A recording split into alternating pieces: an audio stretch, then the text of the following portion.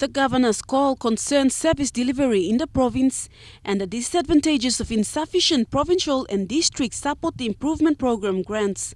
The district of Talasea, having more than 230,000 people living in a scattered, huge geographical location, and Kandrian Gloucester have no road connection and depends mainly on sea transport.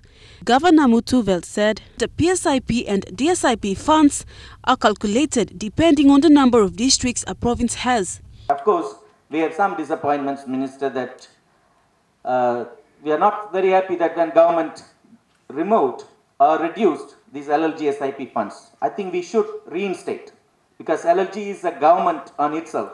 They should also deliver services within local level, government level, Although attempts were made for them to have more districts, the Electoral Commission boundary report has not been acknowledged and approved by past governments. Governor Muthuvel said, although West New Britain province produces more revenue to the government through oil palm, little money is received. He also said no big development impact is seen in the 10 million Kina PSIP fund received. Now this is like 10 million too, you come up one time, this is like guidelines blow ORD lo takol sem 2 million igolo uh, health na 2 million igolo uh, uh, education na 3 million lo infrastructure na 1 million golo uh, law and order na 1 million golo economic activities. Governor Muthuvel urged the government to allocate funds according to the population, geographical marks, and the difficulties in service delivery.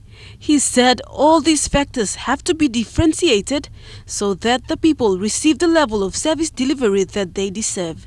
Vasina Tayama, National MTV News, Kimbe.